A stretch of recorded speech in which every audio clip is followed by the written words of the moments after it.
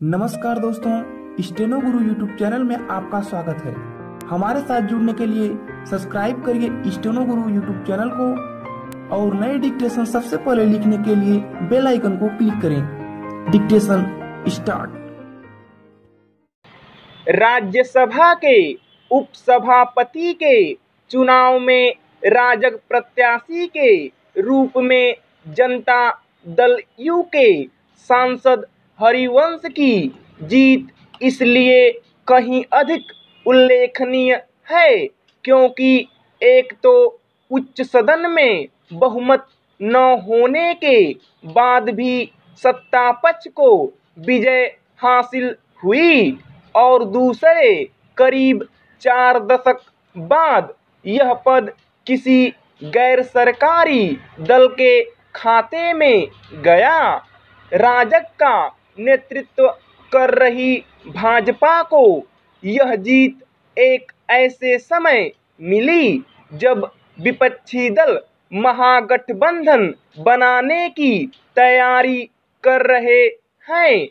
सत्ता पक्ष के हरिवंश ने विपक्ष के बी के हरिप्रसाद को मात देकर यही रेखांकित किया कि कम से कम कांग्रेस के नेतृत्व में महागठबंधन का आकार लेना उतना सहज सरल नहीं, जितना आभास कराया जा रहा है।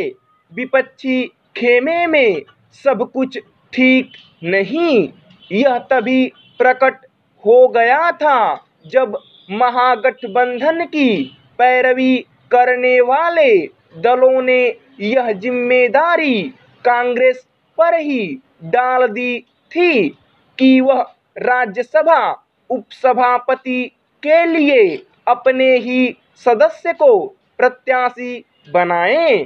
इससे यही संकेत मिला कि वे या तो जीत को लेकर सुनिश्चित नहीं थे या फिर कांग्रेस से निकटता बढ़ाते हुए नहीं दिखना चाह रहे थे, ध्यान रहे, विपक्षी दलों में कई दल ऐसे हैं जो कांग्रेस विरोधी राजनीति की उपज हैं।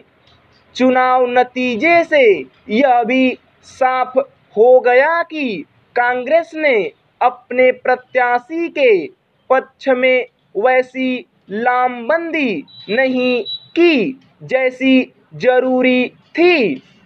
उसकी रणनीति जो भी रही हो, उसे अपने रवैये को लेकर सवालों का सामना इसलिए करना पड़ रहा है कि वह इस प्रतिष्ठापूर्ण चुनाव के प्रति गंभीर नहीं दिखी। दरअसल इसी कारण हरिप्रसाद के मुकाबले हरिवंश को कहीं ज़्यादा वोट मिले। समझना कठिन है कि कांग्रेस ने कुछ विपक्षी और तटस्थ से दिख रहे दलों से संवाद संपर्क क्यों नहीं किया? विपक्ष के विपरीत सत्ता पक्ष का काम इसलिए आसान हो गया क्योंकि अन्नाद्रमुक और टीआरएस जैसे दलों के साथ विजद भी उसके पाले में आ गया। इसी के साथ अभी कल तक और यहाँ तक कि अविश्वास प्रस्ताव के समय भाजपा से दूरी और नाराज़गी ज़ाहिर करने वाली शिवसेना ने हरिप्रसाद की हार सुनिश्चित की। अभी यह कहना कठिन है कि वह राजग का हिस्सा बनी रहेगी या नहीं। लेकिन यह संकेत तो मिला ही कि वह भाजपा के साथ अपने संबंधों को लेकर फिर से विचार कर रही है। यह अच्छा हुआ कि पत्रकार के सांसद बने हरिवंश के राज्यसभा उपसभापति निर्वाचित होते ही विपक्ष ने भी उन्हें बधाई दी।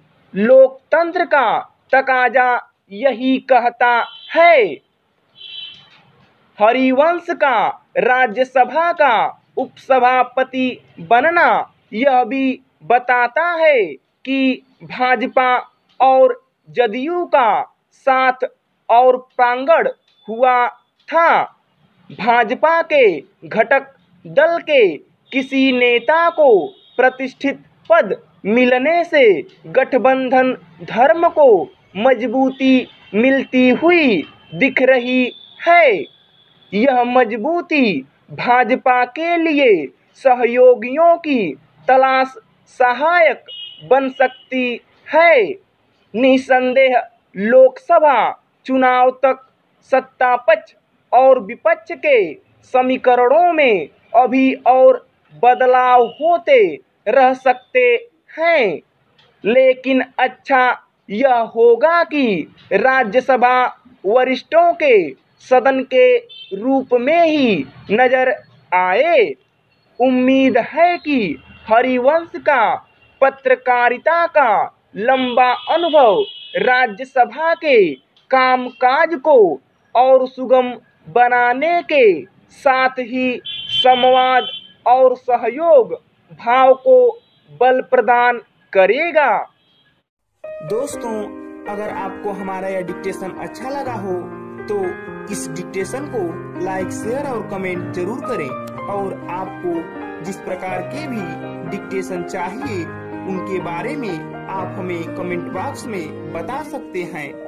लौटेंगे जल्द ही एक नए और शानदार डिक्टेशन के साथ। तब तक के लिए धन्यवाद।